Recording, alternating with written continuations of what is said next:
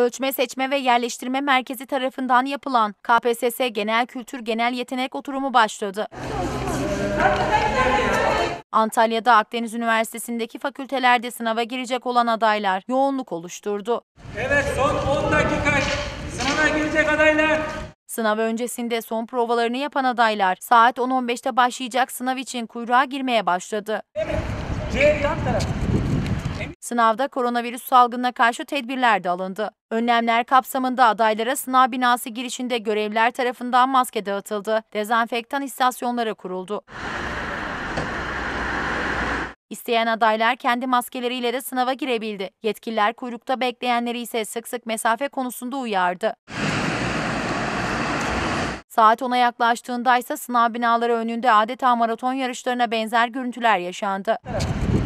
Eminsiniz değil mi C? Bakayım. Devam et. Adaylar geç kalmamak için koşarak sınav giriş kapılarına soluk soluğa geldi. Sınav yerine yanlış gelen bazı adaylar yetkililerin uyarısıyla giriş yerlerine yönlendirildi. Kapının kapanmasına bir dakika kala koşarak gelen genç bir kıza ise polis memuru da kapıya kadar koşarak eşlik etti. Genç kız içeriye girmenin mutluluğunu yaşadı.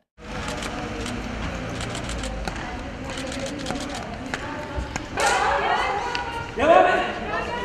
Saat 10'a geldiğinde ise kapılar kapandı. Bu sırada koşarak gelen genç bir kız içeri alınmayınca gözyaşlarına hakim olamadı. Polislere dil döken genç kızın çabası yine de sonuç vermedi. Kapıya yakın kısımdaki bir bankta oturup uzun süre gözyaşı döken genç kızı polis memurları ve arkadaşları teselli etti. Sınava geciken adaylardan Bekir Tutkun isimli bir adaysa kapıyı elleriyle açmaya çalıştı.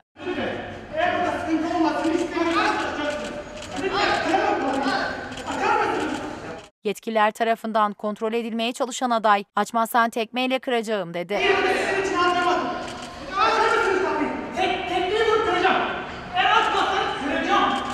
Alanya'dan iki çocuğunu sınava yetiştiremeyen baba İsmail kaçmışta. Kaza olduğu için trafik var. Geç kaldık. İki çocuk da burada kaldı. Kendim de mağdurum. Çocuklar kriz geçiriyor ifadelerini kullandı. Seri 3 saatte geçemedik. Serikten bu yana. Trafik var, yolda polis yok, kaza oluk. Geç kaldınız herhalde. Geç kaldık, çocuklar da iki tane çocuk burada hala. Ben kendim mağdurum. Çocuğunuz sınava girecek. Sınava girecek iki tane çocuğum. Bir benim çocuk değil, yüzlerce çocuk dışarıda kaldı. Alanya'nın çocuğu dışarıda kaldı. Hep dışarıda kaldı. 3 saatte Serik'ten bu yönde geçemedik. 4 şerit yol. Sabah altı buçukta çıktım Alanya'dan. Biz, biz bir buçuk saatlik yolu 4 saatte giremedik. Ne yapacağız bilmiyorum. Kendimiz mi basacağız? Ne yapacağız? Çocuklar kriz geçirecek. Ben ne yapacağım?